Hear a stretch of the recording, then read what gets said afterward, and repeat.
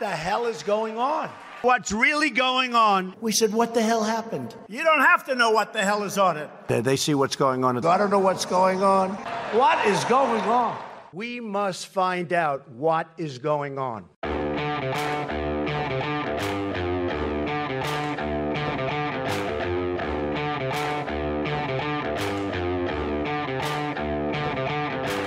Hi, I'm Danielle Pletka. I'm Marc Thiessen. Welcome to our podcast, What the Hell is Going On? Marc, you know what's coming. What the hell is going on? well, we're trying to find out what the hell is Congress going to do about China. So, uh, you know, the reality is there's more and more evidence emerging every day of China's complicity in the spread of the coronavirus through lies and deception and all the rest that we've enumerated on this podcast and episodes before. We've got the issues of the fact that so many of our supply chains uh, have moved to China for things that we'd all of a sudden once the pandemic hit, we suddenly realized we needed and can no longer produce. We've got Chinese theft of intellectual property. We've got Chinese infiltration of and control of the World Health Organization, which also had an impact on the spread of this pandemic as the WHO was subservient to China and didn't do its job in warning the world about the coming crisis. Uh, we have China, which is, you know, oppressing a million Uyghurs, that is cracking down on the democracy movement in Hong Kong, that is threatening Taiwan. This is a whole panoply of issues related to China. And then you have the added factor of that the American people have woken up to the Chinese threat because of the coronavirus. So all of these things together are a real opportunity for Washington to really rethink and do something different in confronting this danger that's coming from the Chinese Communist Party. Yeah, I, I, mean, I completely agree with you, and I think we have talked about this a lot and established that this is a, a unique alignment of the stars. The problem is that in the last week, we have seen that the issue become hugely politicized already. That I, told you I got some email from the GOP with the subject line Beijing Biden. I didn't even open it, but I know that Biden is sending out emails, you know, saying Donald Trump, stooge of Beijing this is so antithetical to the interests of the American people. This is actually a bipartisan issue. It really is. It's not Kavanaugh and Tara Reade. Yeah. This is the health and welfare of the world. This is our supply chains, as you rightly say. This is our economic security. This is our national security. There is nothing GOP or Democratic about this challenge. And to see the political leading lights, if I may call them that, uh, of the day already politicizing this does not bode well for doing anything effective. So here's the silver lining in that dark cloud you just described. You always see a silver lining, yes. I do, which is that both of them are fighting to, over who's tougher on China, which is not the situation we had even a few months ago. Do you know, that Biden a while ago was talking about, ah, China, they can't compete with us. They're no big deal, you know, before the pandemic hit. And now all of a sudden Biden is trying to out tough Trump on China. We're not going to get into the whole debate over who's right or wrong on China right now, but I think it's actually a positive thing that that has become politically the place you want to be when it comes to China. Yeah, no, I mean, look, you're right. That is a silver lining. On the other hand, when stuff needs to get done, what you don't want to see is what we're about to talk about, which is that there's bipartisan discussion of a China task force. It's pretty prescient. It predates the coronavirus. House Democrats and House Republicans are talking about going ahead and creating a, a group to talk about how they together can face up to China coronavirus comes along and all of a sudden the Democrats send the GOP leadership a note Hey, thanks for the invite, guys no thanks. You know, I'm rearranging my sock drawer that night. Yeah. That is unnecessary. And I'm sure that we're going to see plenty of, of immature behavior on the GOP side as well. But in this instance, that was a big mistake, I think. I agree with you. It's a big mistake, but there'll be a lot of sock rearranging between now and November. and then at some point, there's going to be an election. I mean, you know, I'm shocked that there's politics going on in, the, in an election year. You know, yes, absolutely. I agree with you. Things, a lot of good things don't get done in election years because everybody's seeking political advantage, then the American people will vote. They may vote by mail, they may vote in person, they may vote in somewhere in between, but they're going to vote. They're going to elect a president. It's either going to be Trump or Biden, and then we're going to have to deal with the problem. So the consensus of the American people that China is a threat and needs to be dealt with is not going to disappear between now and November, I hope, and I expect. And so, you know, once the election is over, I think it bodes well for us doing something big when it comes to China. Well, we have the right person to talk about this with today.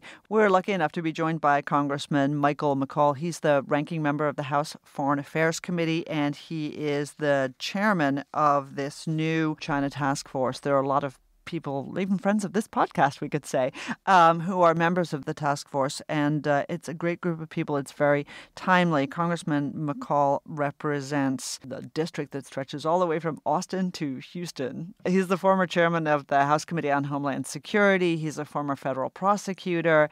He's really a good choice for the Republicans in, in the House uh, for the China task force. And uh, we're going to chat with him right now. Congressman McCaul, welcome to the podcast. Hey, thanks for having me, Marc. You've been investigating this coronavirus and the origins of it with both the Chinese Communist Party and also the World Health Organization. And also, you've got a history of uh, investigating uh, communist infiltration going back to the 1990s. Tell us about that. Yeah, you know, in the late 1990s, I was a little bit younger, but I was a federal prosecutor at Justice in the Public Integrity Section. I was assigned to uh, the Campaign Finance Task Force back in the day to determine if the Chinese Communist Party had somehow influenced the presidential election by putting money into the Clinton campaign. My case was the Johnny Chung case, and we were able to establish through his cooperation that he met at the highest levels with the director of Chinese intelligence and uh, the uh, Liu Chaoying from China Aerospace, very interested in the aerospace satellite technology transfer that the Clinton administration had come around to. They had diverted funds into Chung's Hong Kong bank account, and then that was eventually put into the uh, presidential election. So, not the first time a presidential elections tried to be influenced by a foreign power, and also that was my first introduction to Chinese Communist Party espionage. Well, little did you know that a mere quarter of a century later, you would be chairing the China Task Force in the House of Representatives, looking at something, you know, different, but at its heart, all too similar the malign behavior of the Chinese government. Tell us a little bit about the China Task Force. Well, it's comprised of 11 different committee jurisdictions.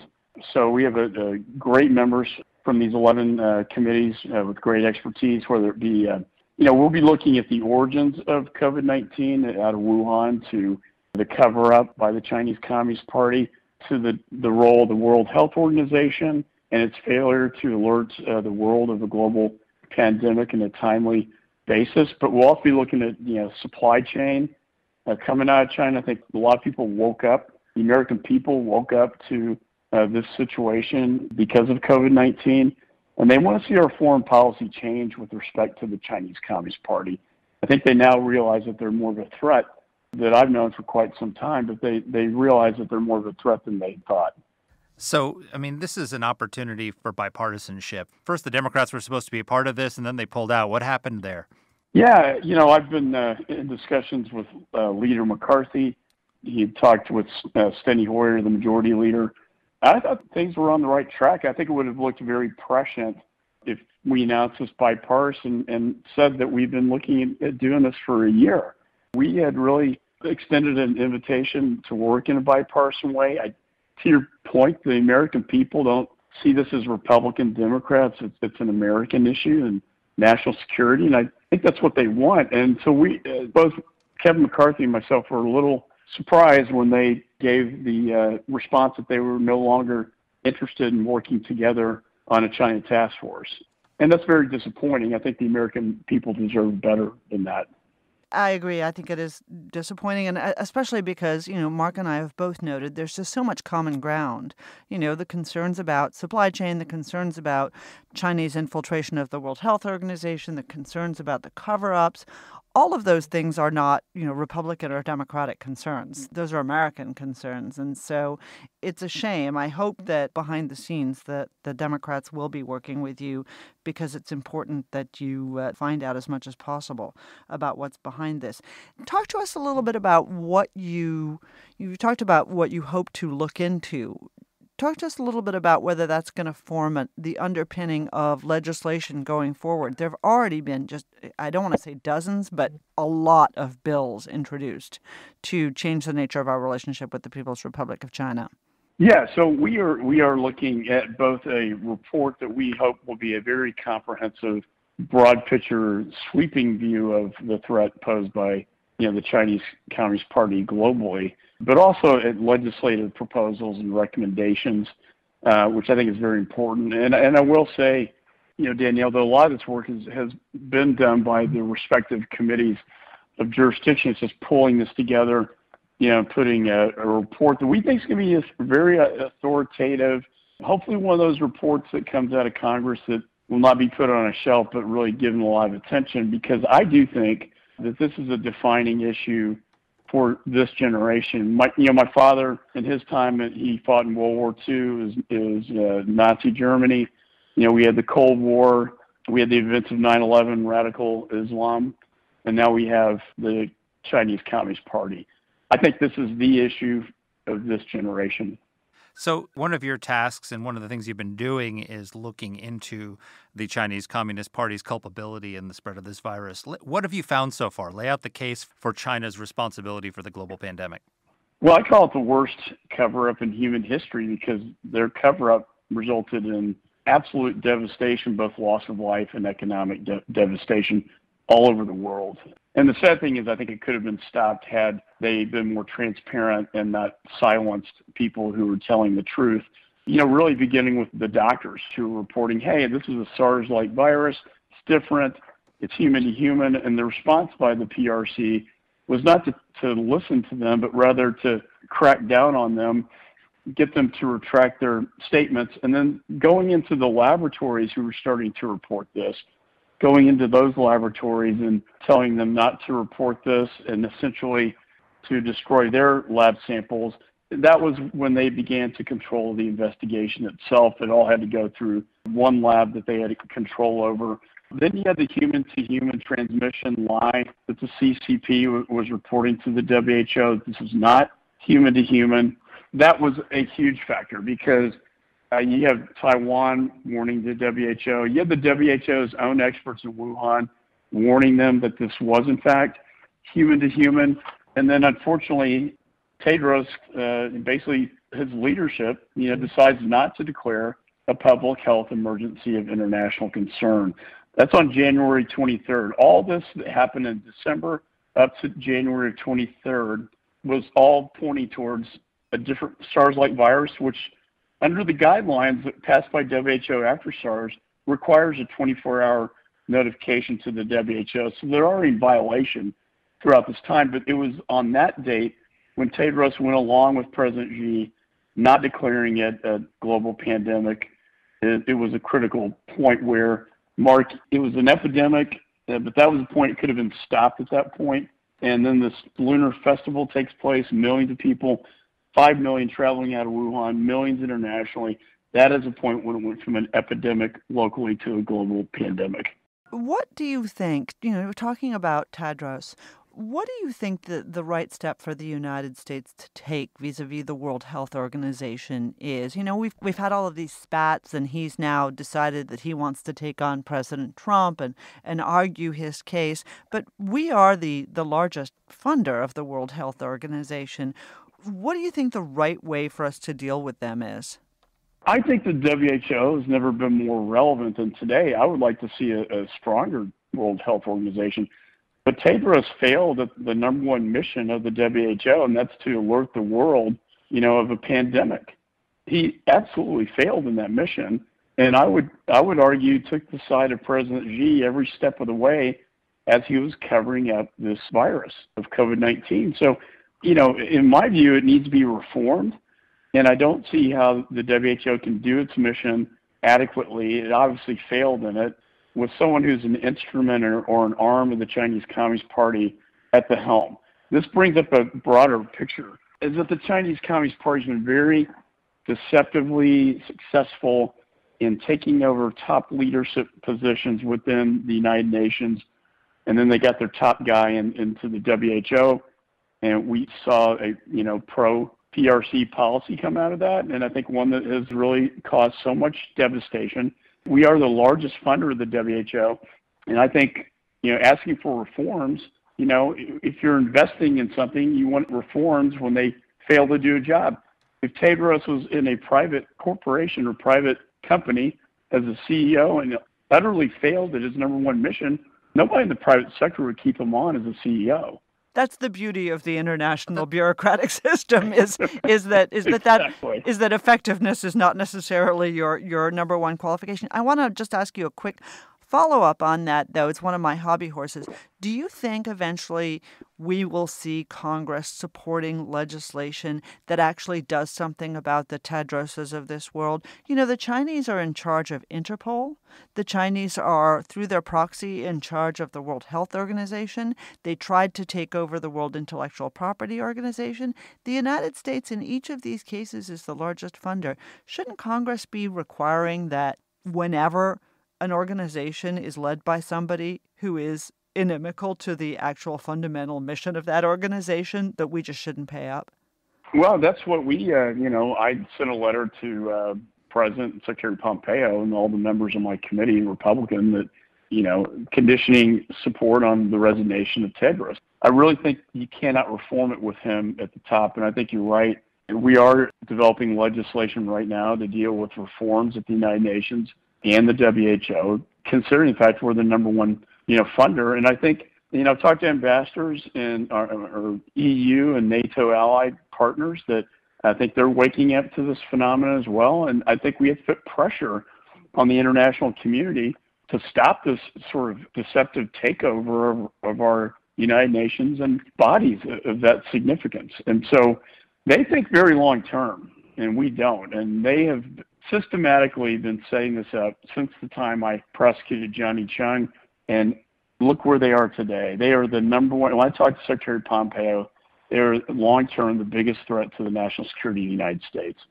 So we're now in a situation where hundreds of millions of Americans are on lockdown. More than 30 million people have filed for unemployment claims. Our economy is in levels of misery unseen since the Great Depression. And it all started, as you point out, with China's failure to contain that epidemic and allowing it to become a pandemic. Uh, how do we hold China accountable for that? And that's something we'll be looking at uh, with our investigation, but then legislative responses. I know the president's talked about tariffs, which he's fairly good at doing. You know, he's really the first president in my lifetime to really stand up to um, uh, the Chinese Communist Party. We are looking at uh, options like uh, sanctions uh, that we'll be working on out of the Foreign Affairs Committee, coming out of the task force, particularly sanctions against the officials that were involved in cover-up itself. But we have to look at the, really the big picture here, Marc, that they're in our universities systems. They are stealing intellectual property uh, daily from from our you know high tech companies we've got to get off this supply chain of you know reliance on China and become more self-reliant and not so vulnerable. Most Americans woke up after COVID-19 hit thinking, I had no idea that we were so reliant on China for personal protective equipment, our pharmaceuticals. Not only that, but the technology with the semiconductor industry. We're going to have to bring you know manufacturing jobs out of China into more favorable democracies in Asia and also here in the United States, bring more of that manufacturing. I've got Apple and Samsung in my district, and it's companies like that that could ramp up their manufacturing here, you know, in the United States. I had a uh, at MD Anderson at UT. We had a scientist indicted for espionage for stealing medical intellectual property. They are in our university systems, and they're pretty much everywhere. And I think we have to take a, another look and determine how can we for the long-term benefit of the American people, poise ourselves in, in, with a better foreign policy to deal with it. I think for years we thought they could play in the sandbox. We thought they they could be friends. We could get them to, towards being a democracy. And I think under President Xi, he has taught us that that is not the course they have chosen. Some of your uh, colleagues have introduced legislation to strip China of sovereign immunity and allow Americans to sue them for damages. Where do you where do you stand on that, and do you think that's going to happen? Well, I think that's going to be part of our recommendations. I, I know we did that after you know 9/11, uh, waived sovereign immunity, and so the victims you know could sue the kingdom. And I think that's going to be one of those those options we're looking at because people, to your point, in high percentages they realize what happened, but how can they possibly pay for all the damage that they've done? Not until the international community is stepping up to them can that really happen you teed me up perfectly. You are the ranking member of the House Foreign Affairs Committee. It's your job to think about U.S. relations with other countries. Obviously, we all have something important in common right now, which is that we have all been locked down, except for our friends in Sweden.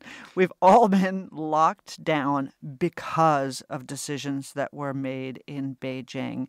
And when we start to reconstruct our supply chains, when we start to look at changing how international organizations do business, one of the ways we're going to do that best is if we can do it with our friends, with the Australians, with the Brits, and with others. How do you see the prospects of cooperation on these issues with other countries? And especially, you know, as you think about how we you know, really hit a brick wall when we tried to get cooperation on issues like Huawei in the past. Well, and I, I don't think they realize Huawei 5G, that's one of the biggest uh, competitions on the face of the planet, and we're losing, in my judgment, and we need to be more competitive. I think when I talked to the Australian ambassador, he, he gets that.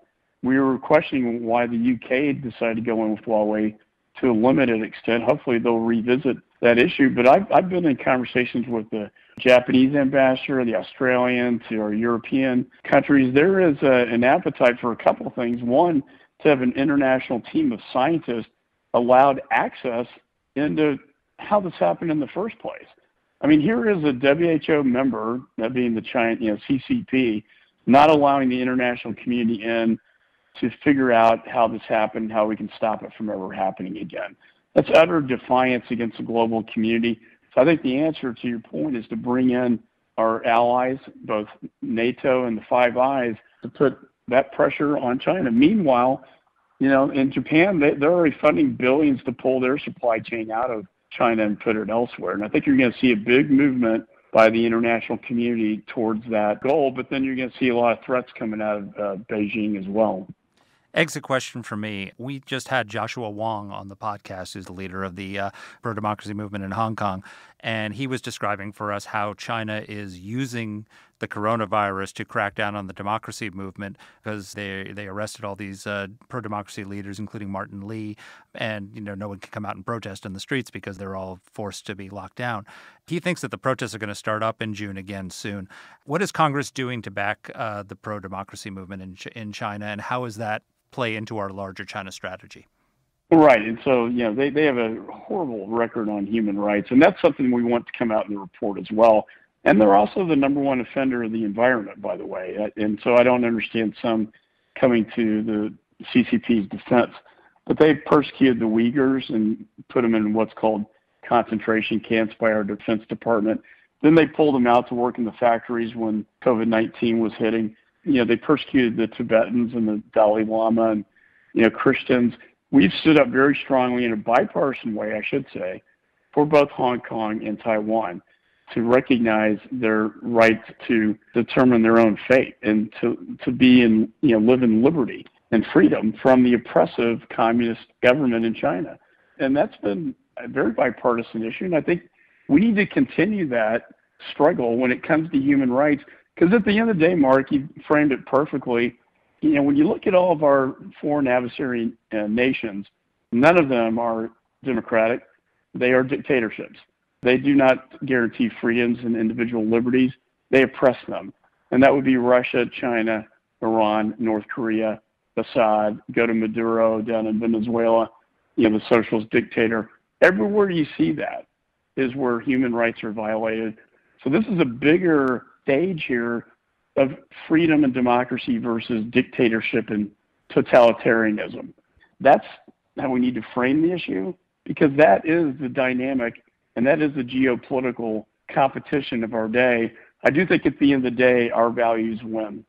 Well, that's music to our ears because that's exactly how we feel about the confrontation between the forces of freedom and the forces of oppression. Something worth fighting for for everybody. Sir, thank you so much for taking the time to chat with us. This has really been a pleasure. No, thanks, Danielle, and thanks, Marc. So, Danny, I think he hit the nail on the head at the end that this is about democracy versus dictatorship. This is about freedom versus tyranny. That all the countries around the world that pose a threat to us have one thing in common. Uh, that they oppress their people, they lie to their people, they pose a threat to their own people's public health, their physical health, their liberty. And we are seeing now with the spread of this coronavirus, a little bit of an awakening to the fact that what happens in Wuhan can, doesn't stay in Wuhan. Doesn't stay on Wuhan. Wuhan is not Las Vegas. what happens in Wuhan doesn't stay in Wuhan. Exactly. No, that's absolutely true. Look, I'm always really happy to hear any influential American politician talk about the battle between freedom and authoritarianism because that that's our fight here at AEI. You know, it really is. There are many, many things wrong with democratic capitalism, but there are many, many, many worse things with socialism communism, dictatorship. And I think that's Churchill really, said democracy is the worst system except for all the rest. It's that's exactly right. Churchill had all of these wonderful aphorisms which say it better than you or I can. But that at the end of the day is the confrontation that we're having because we are going to find as we stand with the Australians, the Japanese, the Brits and the Germans and others, just as Congressman McCaul laid out, we are going to find that it is the Russians, the Iranians, the North Koreans, the Venezuelans, the bad guys of this world who are standing with China. And we we need those guys. We need our allies. And whenever we hear whenever I hear criticism of our allies, I think it undercuts the fact that yeah, you know, sometimes sometimes they're the worst. But we need them to stand with us because we need to refashion a world that excludes those bad guys, that excludes them from our supply chains, that excludes them from our reindeer games. And that's the right way for Congress to think about it because Congress can really play a determining role in how that new world looks. Leave it to Danny to bring Santa into NATO.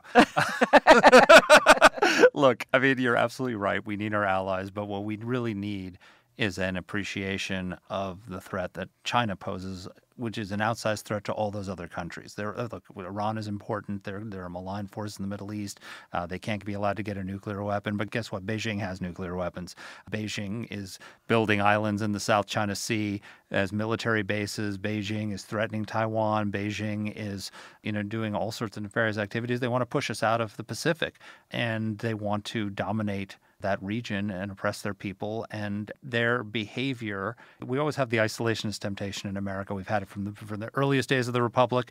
Uh, Americans are reluctant internationalists, as well we should be. We don't want to go around the world slaying monsters, but we do need to recognize there are monsters in the world and they don't always stay in their cages. And we have discovered a renewed understanding that China's treatment of its own people affects us here at home because what they were doing when they lied about that virus is they were abusing their people. They were not responding to a public health threat in Wuhan that was killing thousands and thousands of Chinese and lying to them. And their treatment of those people, their propensity for lying, has now impacted every single American and put our country into the worst economic straits since the Great Depression. I don't know why you're so hostile to slaying monsters, Marc. I, I, personally am a big defender of, America slaying monsters, and it sounded to me like Representative McCaul was with us. You're not gonna, you know, you're not gonna have any trouble persuading me that the Chinese are bad guys. But I do think that, and I understand that we need to be reluctant about this. On the other hand, we do need to have a vision of what it is that we need to accomplish. Because if we let this die by a thousand cuts, and mind you, the Chinese will work hard to intimidate our allies from standing with us. They will work hard to ensure that we don't get the right people in at the United Nations. And they are going to work hard to interfere in our election this year to ensure that a candidate more congenial to them, not just in the White House, but in congressional races. Biden? right. That guy they are going to work hard and we need to be on our top game. I worry that we are not always on our game. And part of that is the fight about whether we need to be out there slaying monsters or not. My argument is, yeah. so you want to go slay every monster? Not every monster. I want to be selective about it, but I want us to know who all the monsters are. oh, sure. I, I, agree with you on that. Look, uh, the Americans are, as I said, reluctant internationalists, but they're internationalists. We don't want to spill American blood in places where our national security interests don't lie, but we have a vital national security interest in confronting the threat that Communist China poses. Amen to that. Okay, I'm going to go home with Rudolph the Red-Nosed Reindeer. and have an evening of it. Thanks for being here, folks, with us. Don't forget to send your suggestions, compliments only, insults to Marc. That's Marc Thiessen at AEI.org. That's and not we'll the see... right email address, so good. and we'll see and we'll see you soon. Bye. And our team here at AEI is Alexa Santry, Matt Weinset, Jen Moretta, and Macy Heath. Let us know what topics you'd like us to cover. You can get in touch with the show by emailing us at whatthehell at aei.org. Or you can reach us on Twitter. I'm at dpletka. And I'm at Marc Thiessen. That's Marc with a C. Please rate and review the podcast. If you like the show, please subscribe, share it, comment on Apple Podcasts, or wherever you're listening to this. Thanks for listening.